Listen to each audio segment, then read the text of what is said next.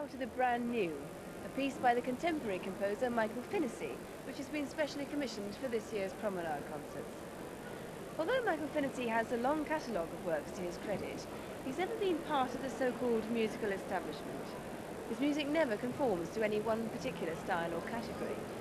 Followers of new music will know of Finnissy's work, of course, but the last four months have been particularly important for him in bringing his work to a rather wider audience. In May, his opera The Undivine Comedy was performed for the first time in Paris and then came to the Almeida Festival in London. And now, tonight marks another first performance. It's a piece called Red Earth, inspired by a trip he made to Australia recently. A few days ago we met, and I asked him to tell me more about the piece and how he came to write it. Feelings about Australia, and having been there for some months and made friends, um, done some study of Aboriginal art, I was sorry to leave that behind and come back home here.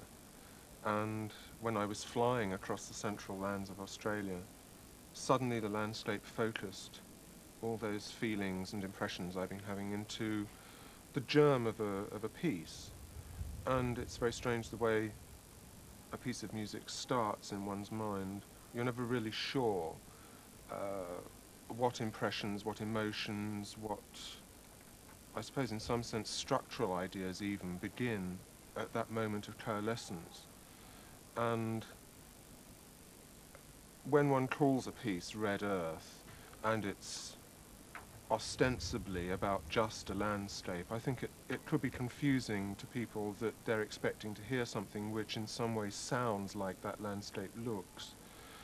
Um, for me, there are a lot of other things involved in it, Feel, uh, feelings, emotions, which in some ways contradict that, uh, that landscape. I personally, listening to it, found it rather a menacing piece. I felt that I didn't want to listen to it alone on a dark night. Was that the sort of reaction you'd expect, or is that wrong?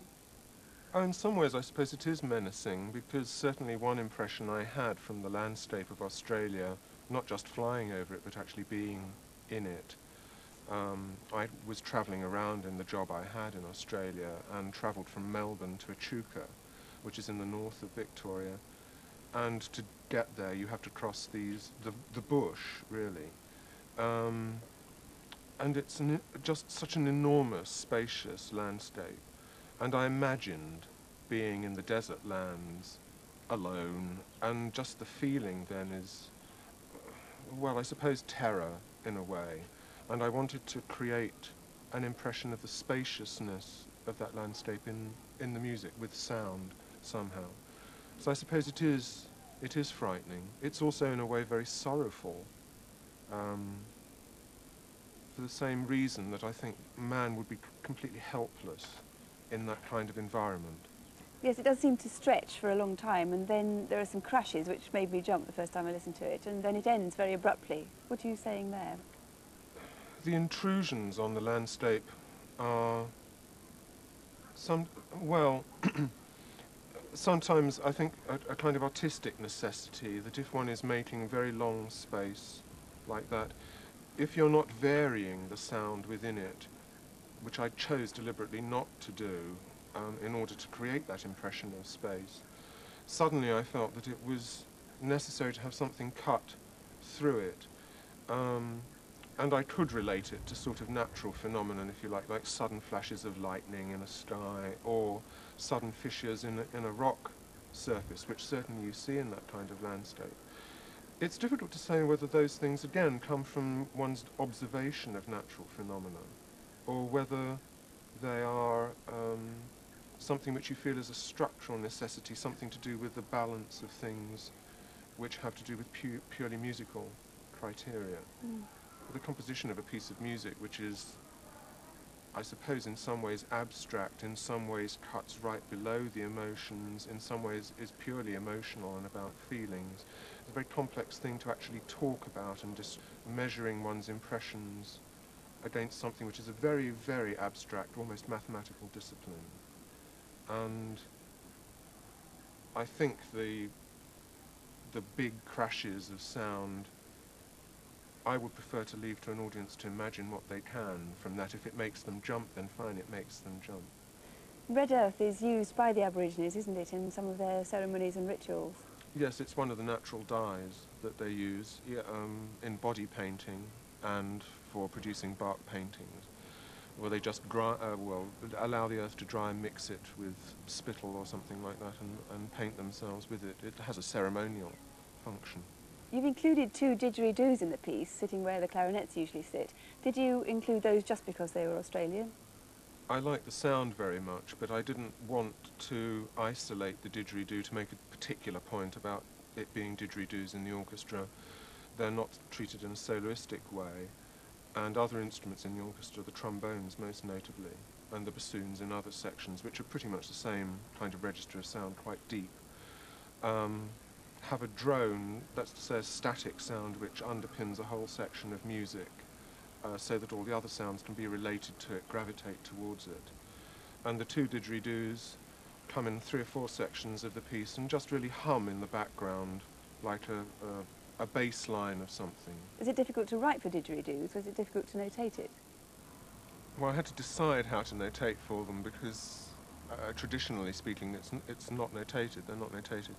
But as the didgeridoo is just a, um, a tree trunk which is hollowed out, it produces a fundamental tone which you can notate at any pitch depending on what kind of didgeridoo you have, though each of them only has one sound. And then overtones of that, which are the same as blowing down any tube. Um, it produces harmonics, first, second, third, fourth harmonic.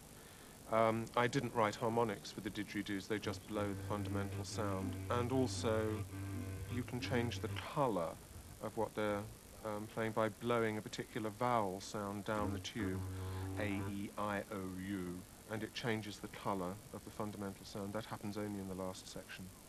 Did you find yourself very taken by the Aboriginal culture when you were in Australia?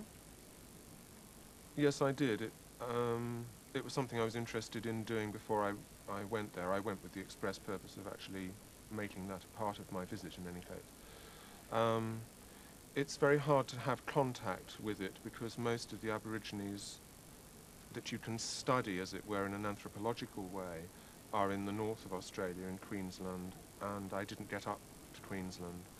I was fortunate in meeting um, some that happened to be in Victoria doing, uh, it was a, a, band of children and one man who was leading them, teaching, teaching them the didgeridoo and some tribal dances. Um, really for entertainment, which rather disgusted me.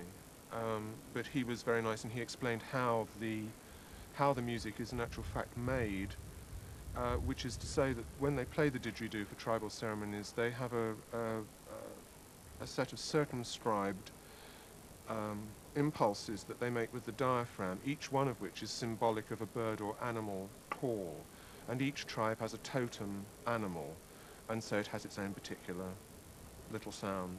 Um, that would be how the traditional uh, didgeridoo music would be constructed. And of course then they play it for corroborees, which are the tellings of tribal rites and stories and so on and so forth. It's a very, very complex culture, a very sophisticated kind of culture, and there wasn't time to, to study it in any great depth.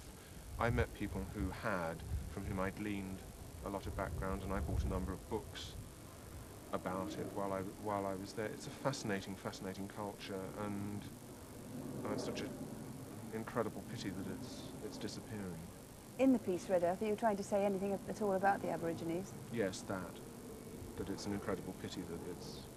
Well, they've just been pushed aside, and I think it's impossible to look at Australia and not at least have some pang that that has happened. And certainly that is a part of the piece, yeah.